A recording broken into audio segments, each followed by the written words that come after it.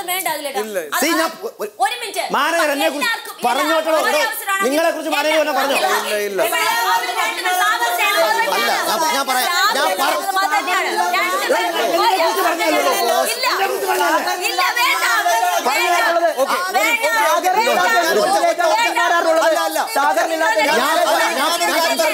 ഞാൻ. ഞാൻ സംസാരിച്ച് തുടങ്ങി നീ കേട്ടോ? ഞാൻ സംസാരിച്ചു തുടങ്ങി നീ കേട്ടോ? ഞാൻ കേട്ടോ? ഞാൻ സംസാരിച്ചു തുടങ്ങി നീ കേട്ടോ? ഇല്ലല്ലോ. ആരെങ്കിലും കേട്ടോ? എന്തോ ഞാൻ പറയുന്നത് കേട്ടോ? എന്തോ പറയുമെന്ന് കേട്ടോ. ഇവിടെ വിഷ്ണുവായിട്ട് ബന്ധപ്പെട്ട വിഷയത്തിൽ അവൻ എന്റെ പേരെടുത്ത് പറഞ്ഞു.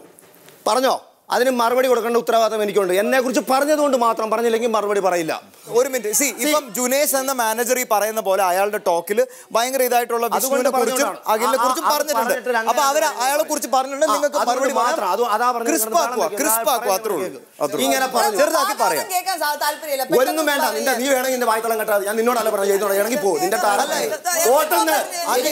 ഇറങ്ങി പോവാൻ പറഞ്ഞു ഞാനാണ് മാനേജർ എനിക്ക് ശോഭ ഞാൻ ശോഭ ഞാൻ ഇപ്പൊ പെർഫോമറായിട്ട് നേരെ ഞാൻ കാശ് പഠിക്കാൻ അവളോടാണ്. ഓക്കെ അവളോടല്ല സംസാരിക്കുന്നത്. ആ ഓക്കെ ആ ഓക്കെ ഇനി നീ ഏതാ ഞാൻ ഒരു നക്കി നക്കി വലിയേട്ടാ കൊച്ചേട്ടാ കുഞ്ഞേട്ടാ ഒരു. നിന്നെ ആർക്ക് വേണം എടോ ഒരു മിനിറ്റ്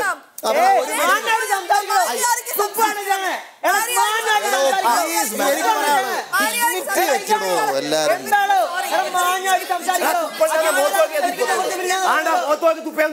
അവനെ പറയടാ. ഒരു മിനിറ്റ്. രണ്ട് കഴിഞ്ഞോ?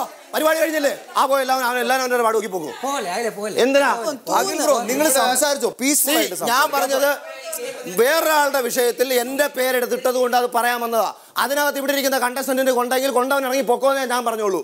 ഇവിടെ രണ്ട് ഗസ്റ്റ് വന്നപ്പോൾ ഈ ഗസ്റ്റിന്റെ വായിൽ നിന്ന് പല രീതിയിലും പല ഹാർട്ടിംഗ് ആയിട്ടുള്ള ഡയലോഗുകളും വീഴുമ്പോൾ ഇവിടുത്തെ ജീവനക്കാരൻ നിലയിൽ നമുക്കെല്ലാം മിണ്ടാതെ കേട്ടോണ്ട് നിൽക്കണം എനിക്കതിന് പറ്റത്തില്ല. അതുകൊണ്ട് ഞാൻ ആ നിമിഷം രാത്രിയിൽ ഗസ്റ്റിനെതിരെ ടാസ്ക് നശിപ്പിക്കത്തക്ക രീതിയിൽ ബിഗ് ബോസ് പറയാത്തൊരു കാര്യം സാഗർ ചെയ്തു. എനിക്ക് തീരെ യോജിപ്പില്ല. ഞാൻ ആ പരിപാടി അവിടെ അവസാനിപ്പിച്ചു. ബിഗ് ബോസിനോട് പറഞ്ഞ് അവസാനിപ്പിച്ചു. ഇവിടുത്തെ ലക്ഷറി ടാസ്ക് കളയാതിരിക്കാൻ വേണ്ടി റോബിൻ രാവിലെ വിളിച്ചപ്പോൾ പോയി ലക്ഷറി ടാസ്കിനുള്ള പോയിന്റ് മേടിച്ചു. ഈ ഇവിടുത്തെ എല്ലാവർക്കും വേണ്ടി ഇവിടെ തന്നത് എനിക്ക് ആ പോയിന്റ് ഒന്നും വേണ്ട. അതുകൊണ്ട് ഇവിടുത്തെ ഹൗസിലെ പതിമൂന്ന് പേർക്കും ദോഷം വരാത്ത കാര്യം ഞാൻ ചെയ്തിട്ടുണ്ട്.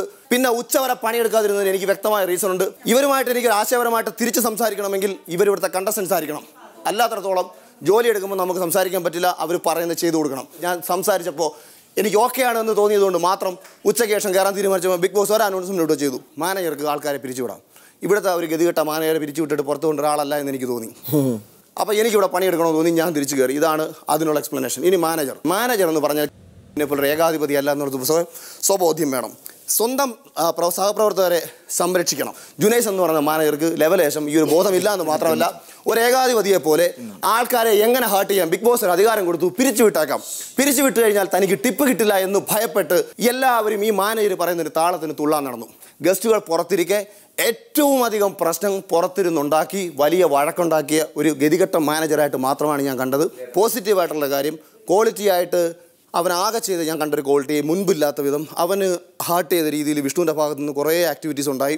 ആ ആക്ടിവിറ്റീസിന് അവൻ കൃത്യമായ മറുപടി കൊടുത്തു എന്നത് മാത്രമാണ് ഞാൻ അവനിൽ കണ്ട ഒരു ക്വാളിറ്റി ഞാൻ ആദ്യം ജുനൈസിന്റെ നല്ല വശം പറയാം. എനിക്ക് ജുനൈസിൽ ഭയങ്കര വലിയൊരു മനുഷ്യത്വം ഫീൽ ചെയ്തു ഫസ്റ്റ് ഓഫ് ഓൾ ഞാൻ ഇത്രയും നാൾ വന്നതിൽ ഞാൻ വിചാരിച്ച ജുനൈസ് അല്ല എന്നുള്ള കാര്യം എനിക്ക് പലപ്പോഴായിട്ട് ഫീൽ ചെയ്തിട്ടുണ്ട്. കാരണം ജുനൈസ് പല കാര്യങ്ങൾ എത്ര ഇതായിട്ട് പറഞ്ഞാലും ആ ഒരു അവന്റെ ഉള്ളിലൊരു ഭയങ്കരമായിട്ട് എല്ലാവരും നന്നായിട്ടിരിക്കണം എല്ലാവർക്കും ആർക്കും വിഷമം ഉണ്ടാകരുതെന്നൊരു ഫീൽ ഉള്ളിൽ കിടക്കുന്നതായിട്ട് ഞാൻ എനിക്ക് ഈ ടാസ്ക് വന്നപ്പോഴാണ് ജുനൈസിൽ എനിക്ക് ഫീൽ ചെയ്തത്.